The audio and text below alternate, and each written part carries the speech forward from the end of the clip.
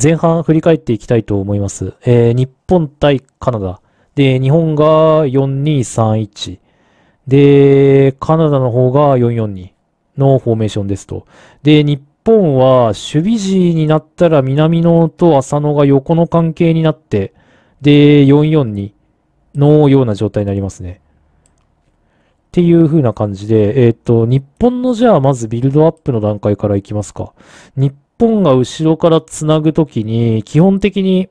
日本はボランチ1枚残してもう1枚を上げる。で、えー、前線に張ってる久保とか、それから南野とかですかね、が下がってきて、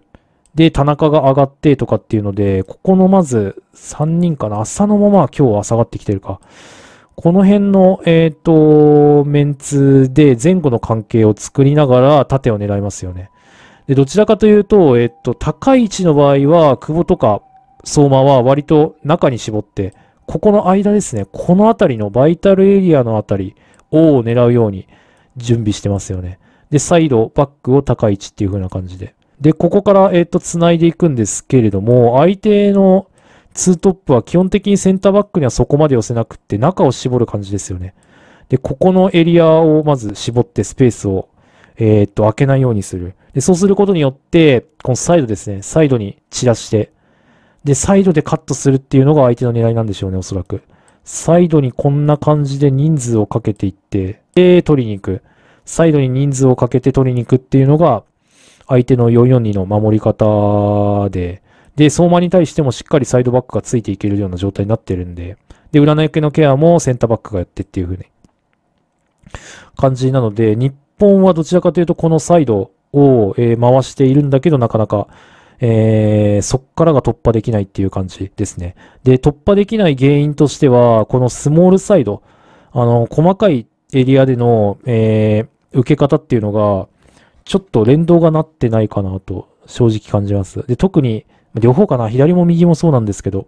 あのー、右の方に至っては、えー、堺から相馬に対して、えっと、堺相馬のとこですかね、特に。まあ、慣れてないっていうのもあるんですけど、ここ中盤経由して南野とかが降りてきて中盤経由するんですけど、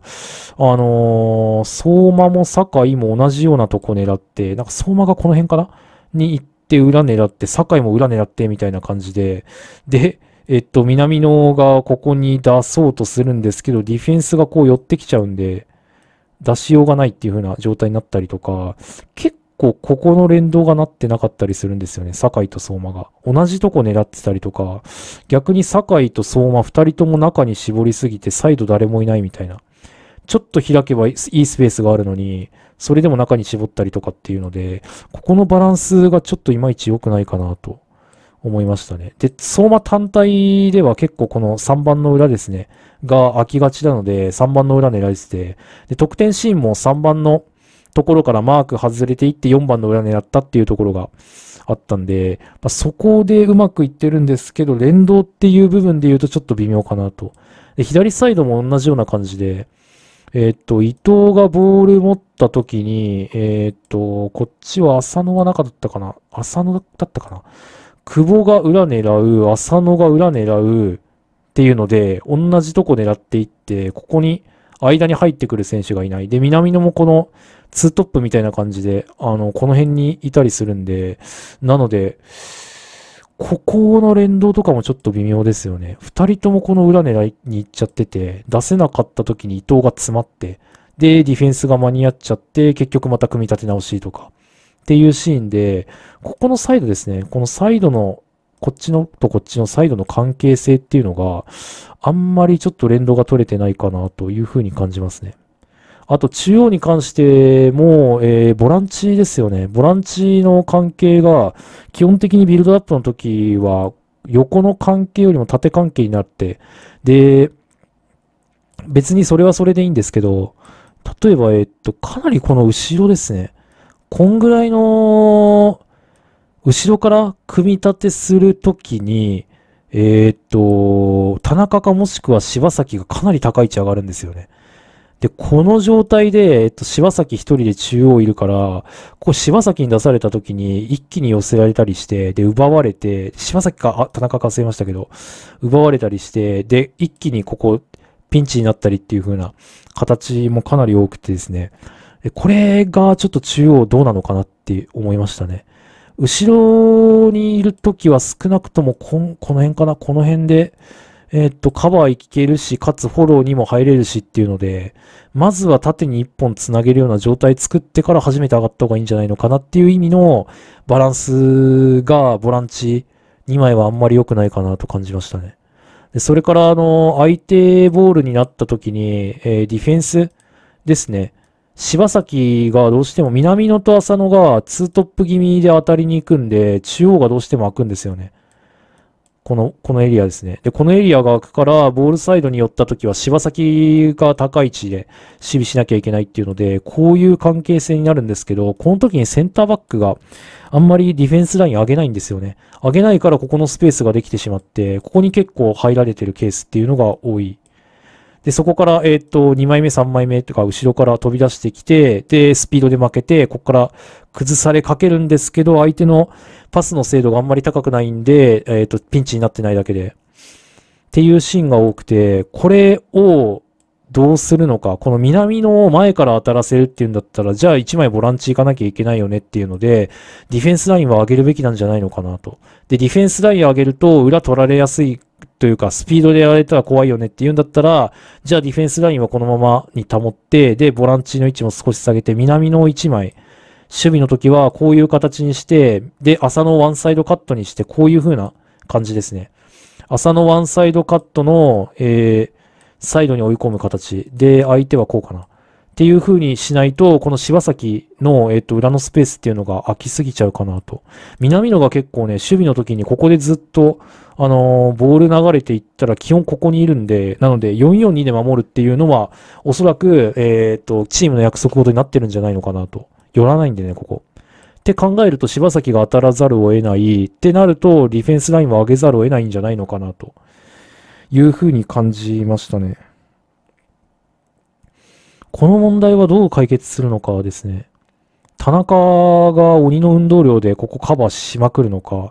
ていうタイプでもないですし、遠藤ぐらいしか多分そういうのできないと思うんで、って考えると、これどうなのかなって、ディフェンスラインとのこの間ですね、ここの間のスペース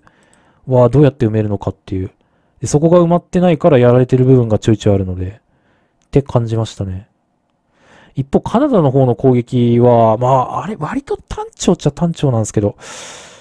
サイドですよね。サイドかなり高い位置上げて、で、中央ちょっと絞らせてとか、で、こっちは右サイドがこの選手かな。が高い位置入ってっていうので、そんな感じで、で、ツートップは必ず崩さないで、ここは、えー、っと、保って、で、サイド空いてる時には流れていくけど、基本的にサイドは開けますよね。この二人がいけるように。で、この10番が変則的に中入ってきて、で、酒井がここどっちつこうみたいな状態になって、よくここの辺が開くんですよね。後半、総評始めたいと思います。展開的には、前半の展開とほとんど変わらなかったですね。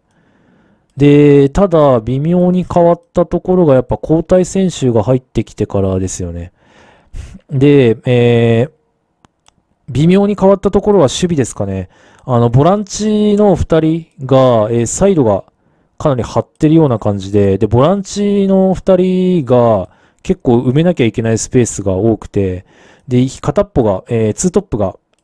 ツートップ気味に寄せに行くんで、片っぽのボランチがちょっと高めの位置に寄せなきゃいけないっていう、こういう状態が続いたんですよね。でこういう状態が続いたからこそ、この辺のエリアが空いてたりしてしまって、そこのエリアに、えー、中央絞ってきた選手が入ってきたり、特にこの10番、10番がいたんですけど、10番が左やってた時は中に入ってきたりっていうので、かなりここら辺のスペース使われてたので、このスペースどうやって埋めるのかなって思ったら、こうしましたね。堂安入れて、相馬左に置いて、ちょっと絞り気味にしたんですよね。で、こうすることによって、鎌田と、あ、鎌田じゃないや、えっ、と、田中か当時は。田中と柴崎の、えー、上がるスペースっていうのを埋めさせた。もしくは、えっと、当たりに行っても堂安も当たりに行くからっていうので、縦に、えっと、行かせないで、で、下げさせるっていう風な形を作って対処してましたね。これはこれでまあ対処の仕方としては、まあ、あの、悪くはないかなと思います。で、それぐらいかな、変わった展開としては。相手も引き続きね、サイド高い位置に置いてっていう風な形は変わっていなくて、で、右サイドバック、あ、左サイドバックの裏ですね。ここを頻繁に狙ってましたよね。で、途中で交代してきてからこっちも狙うようになって、基本的には相手はサイド攻撃でしたね。で、サイドの裏とかをスピードで行かれるっていう風な感じで、えー、っと、やってますと。